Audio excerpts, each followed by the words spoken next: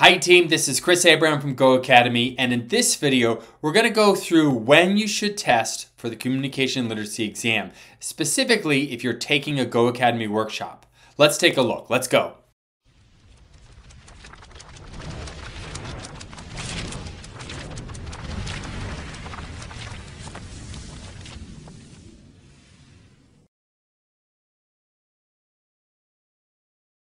Good morning. We're going to start I'm going to ask a couple quick questions. The first question I want to ask you is when are you testing?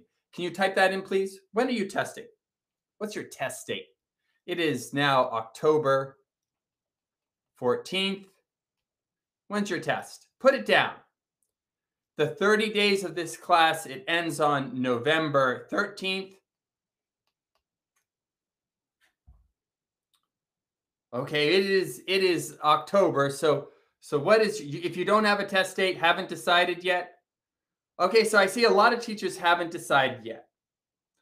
I would say for most teachers, the thir- the 30 this is the the window of time, the ideal window of time. The next 30 days. Does that make sense, team? Give me thumbs up if that makes sense. The next 30 days is probably probably a great time to take the test. You could test after November 13th for sure. But what happens is you start to creep in on Thanksgiving. What's what's the date of Thanksgiving? Who knows the exact date? What is it this year? It's November what? Is it the 23rd? So usually I'll put down the 23rd. Usually that week before Thanksgiving isn't ideal. So this is where it gets a little tricky.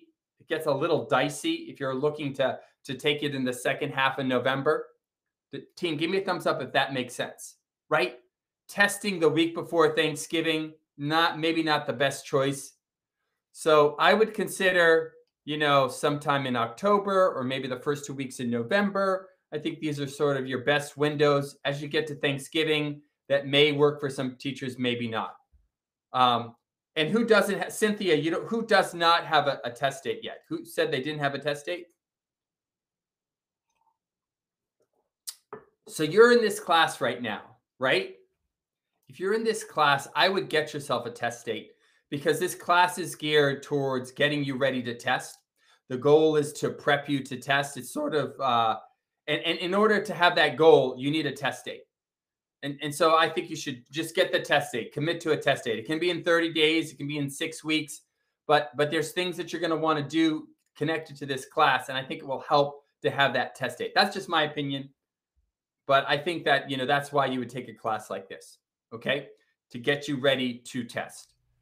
All right, team, I hope you enjoyed this video. If you did, I want you to give it a big thumbs up. This will get it out to more teachers that need help on these exams. And if you haven't already, you should check out a Go Academy workshop. I'm sure you'll find them very helpful. Just go to gohacademy.com at www.goh.com and you'll see a list of all the classes that are coming up. All right, team, this is Chris Abraham from Go Academy. Everyone have a great day. Take care, team. Bye bye.